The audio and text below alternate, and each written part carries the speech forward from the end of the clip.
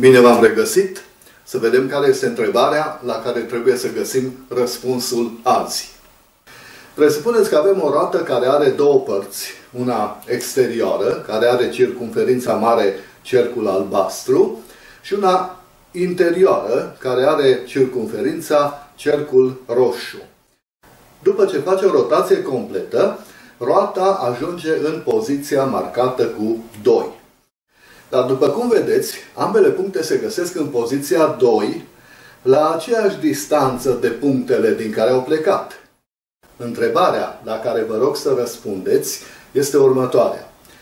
Este distanța parcursă în timpul unei rotații de punctul B egală cu distanța parcursă de punctul A?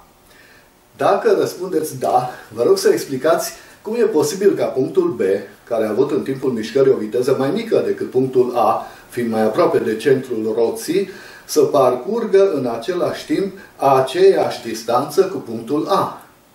Dacă răspundeți nu, vă rog să explicați cum e posibil ca punctul B să ajungă la aceeași distanță de locul de plecare ca punctul A, dar parcurgând o distanță mai mică decât punctul A.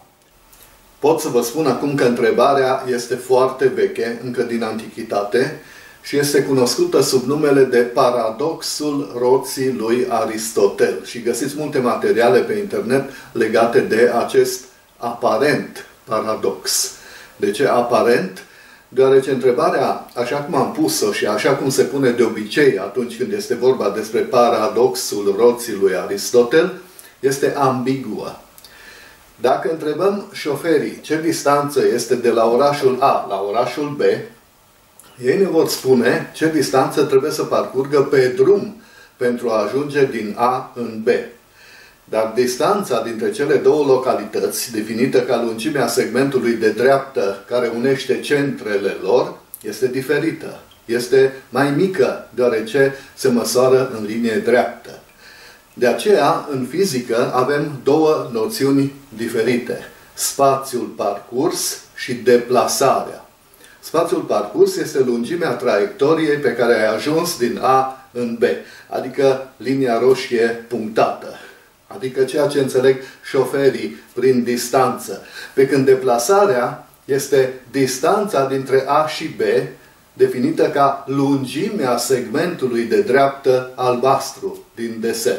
Iar cele două sunt, în general, diferite. Singura restricție este aceea că spațiul parcurs nu poate fi mai scurt decât deplasarea. Apropo, avionul ajunge mai repede din A în B decât automobilul, nu numai pentru că are o viteză mai mare, ci și pentru că forma traiectoriei avionului este mult mai aproape de un segment de dreaptă decât forma traiectoriei pe care o parcurge un vehicul rutier. Avem, deci, trei noțiuni care ne vor ajuta să răspundem la întrebarea noastră și să găsim explicația la faptul că paradoxul este de fapt doar aparent. Și cele trei noțiuni sunt spațiul parcurs, deplasarea și traiectoria. Acest desen ne arată ce traiectorii descriu punctele A și B în timpul unei rotații. De fapt, vedem trei traiectorii. A centrului roții, a punctului B și a punctului A. Dintre toate punctele roții, centrul ei are cea mai scurtă traiectorie în timpul unei rotații. Și cu cât alegem un punct mai departe de centrul roții, cu atât traiectoria acestuia va fi mai lungă. Putem răspunde deja la prima parte a întrebării noastre. Punctele A și B parcurg spații diferite în timpul unei rotații, punctul B având o traiectorie mai scurtă decât punctul A. Au aceeași deplasare, e adevărat, dar parcurg spații diferite. Și acum, pentru că am clarificat noțiunile de care avem nevoie, putem formula a doua parte a întrebării mai clar.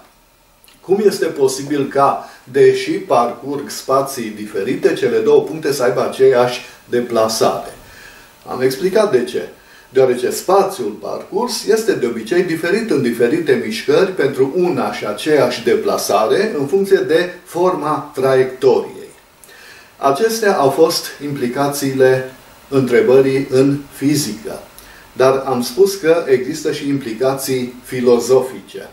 Unul dintre cei care au fost preocupați de roata lui Aristotel a fost primul om de știință, Galileo Galilei. El s-a gândit la cazul în care în loc de cercuri am avea poligoane regulate. De pildă, așa cum vedeți în acest desen, hexagoane. Și a înțeles că laturile hexagonului mic fac salturi pentru a ajunge într-o nouă poziție orizontală, așa cum ne arată desenul. Cu alte cuvinte, există spații între pozițiile pe care le ocupă în timpul rotației laturile poligonului mic, atunci când ajung pe orizontală. Apoi și-a imaginat că poligoanele își măresc numărul de laturi până când fiecare latură devine un punct. Acesta fiind, la limită, cazul cercurilor. Și a făcut un raționament foarte interesant, care duce la o concluzie la fel de interesantă. Raționamentul este următorul. Dacă crește numărul laturilor, spațiile dintre segmentele orizontale ale poligonului mic se fac tot mai mici. Ceea ce înseamnă că în cazul cercului, ele sunt infinit de mici și infinit de multe.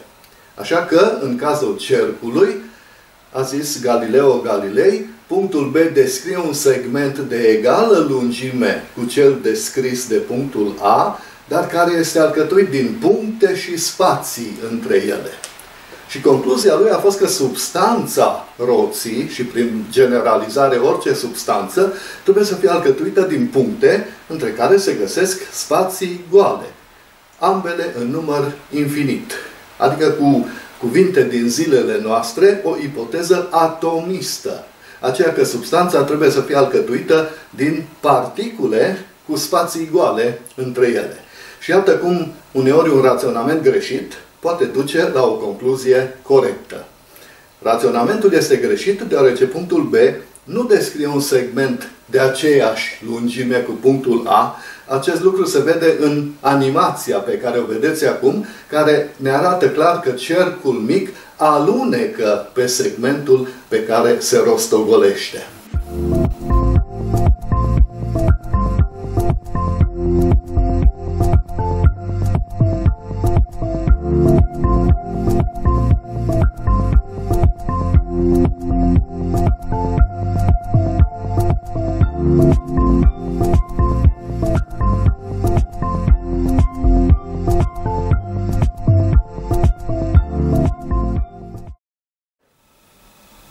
Întrebarea de azi este cât se poate de diferită de cea la care tocmai am răspuns și nu are legătură directă nici cu fizica, nici cu matematica.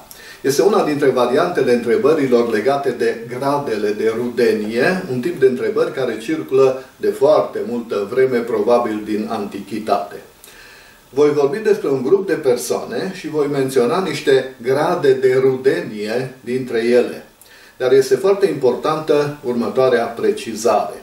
Toate relațiile de rudenie pe care le voi menționa sunt între membrii grupului.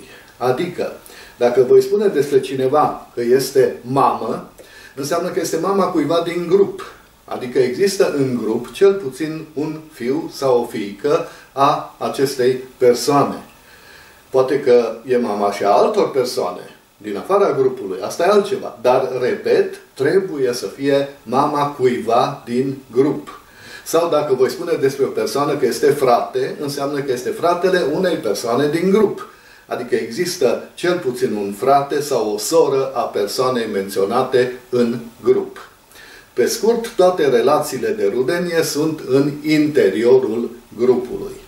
Să revenim la întrebare. La o masă, într-un restaurant, se găsește un grup de familie în care găsim următoarele grade de rudenie.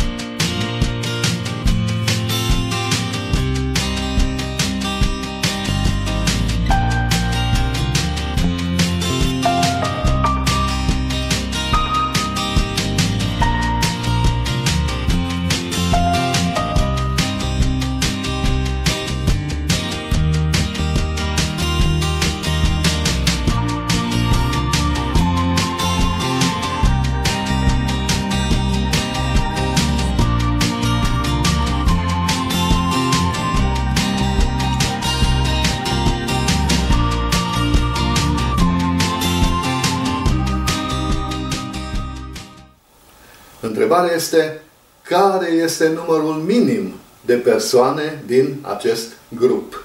Succes pe săptămâna viitoare!